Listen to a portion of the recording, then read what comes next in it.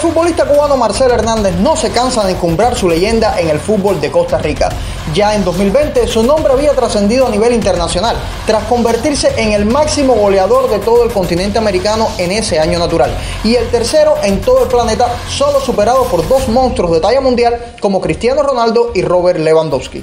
Ahora el nacido en La Habana acaba de batir una nueva marca, y es que el delantero del cartaginés se ha convertido en el futbolista extranjero con más goles en la historia del fútbol costarricense, superando la brutal cifra de 88 goles que había conseguido Joseph Miso, jugador eslovaco devenido en una de las grandes leyendas de la historia reciente del balompié en el país centroamericano.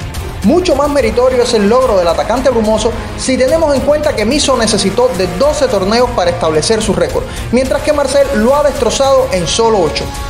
Como dato curioso, 20 de los goles de Hernández fueron conseguidos con Alajuelense, club con el que el extremo eslovaco inmortalizó su nombre en el fútbol tico.